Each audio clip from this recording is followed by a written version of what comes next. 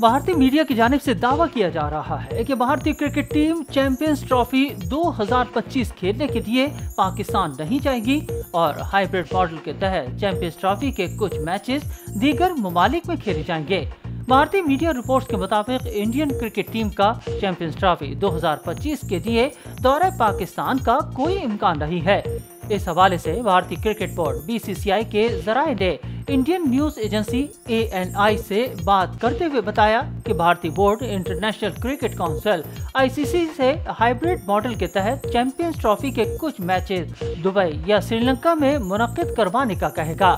خیال رہے کہ I C C one day world cup انیس سو چھیانوے اور دو ہزار آٹھ کے ایشیائی کپ کے بعد پاکستان کو ایک عرصے بعد پہلی بار چیمپئنز ٹرافی کی میزبانی ملی ہے۔ جو انیس فروری سے انیس مارچ تک پاکستان کے تین بڑے شہروں، کراچی، لاہور اور راول پنڈی میں کھیلے جائیں گے۔ پاکستان نے سیکیورٹی خدشات کی وجہ سے بھارت کے تمام میچز ایک ہی شہر لاہور میں رکھنے کا فیصلہ کیا ہے۔ لاہور میں وہاں کا بارڈر کی وجہ سے میچز رکھے گئے ہیں۔ تاکہ بھارتی شہری ان میچز میں آسانی سے شرکت کر سکے۔ تاہم، چیمپئنز ٹرافی دو ہزار پچیس میں بھارت کی شمولیت اب بھی سوالیہ نشان ہے۔ بھارتی cricket board B C C I نے دورے پاکستان کا فیصلہ بھارتی حکومت پر چھوڑا ہوا ہے اور بھارتی حکومت کی جانب سے اس بارے میں فی الحال کوئی فیصلہ نہیں کیا گیا ہے۔ اس سے قبل chairman P C B Mohsin Naqvi واضح طور پر یہ کہہ چکے ہیں کہ چیمپئنز ٹرافی دو ہزار پچیس کی میزبانی پاکستان ہی کرے گا اور تمام میچز ملک کے اندر ہی ہوں گے، جبکہ بھارتی ٹیم کا پاکستان آنے یا نہ آنے کا معاملہ قبل از وقت ہے۔ پاکستان میں باہر سے بھی ٹیمیں آئیں گی اور چیمپئنز ٹرافی پاکستان میں ہی ہوگی۔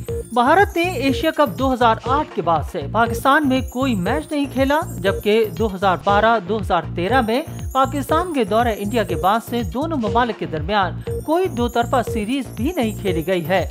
گزشتہ سال بھی ایشیا کپ کی میزبانی پاکستان کو ملی تھی، لیکن بھارت نے پاکستان آنے سے صاف انکار کر دیا تھا، جس کے بعد ہائیبریڈ ماڈل کے تحت بھارت کے تمام میچز سری لنکا میں شیڈول کیے گئے تھے۔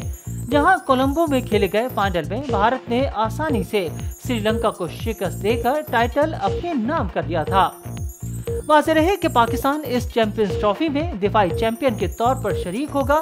آخری بار چیمپئنز ٹرافی دو ہزار سترہ میں ہوئی تھی، جو پاکستان نے سرفراز احمد کی قیادت میں جیتی تھی۔